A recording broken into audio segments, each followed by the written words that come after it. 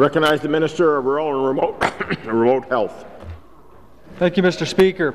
To you and through you to all members of the Assembly, I'd like to introduce a fine group of uh, students from the Yorkton Regional High School, uh, 35 of them to be exact. Uh, their teacher, Mr. Perry Ostapowicz, is a, a, just an awesome teacher, uh, bringing attention of the Assembly and government and, and legislation, the legislature to his students. They are very well informed when they come here.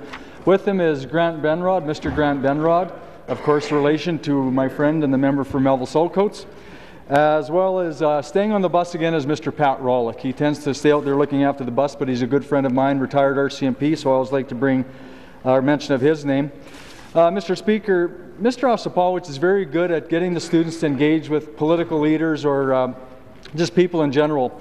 And uh, they're always very active and engaging, I know myself anyway, with whether it's Twitter, Facebook, or emails, or just getting a hold of me just to, just to uh, know that they're, uh, they're able to contact their, their uh, local politicians as well. And when they do that, I always give them special mention. So I have three that I want to mention here today, Mr. Speaker.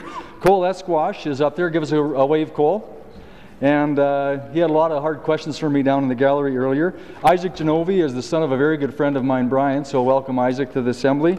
And Colin McDonald is also uh, the son of a good friend of mine, Ms. Sherry McDonald, who is uh, one of the leads at the Yorkton Chamber of Commerce. So I'd ask all members to uh, welcome these young, fine young people to their legislative assembly.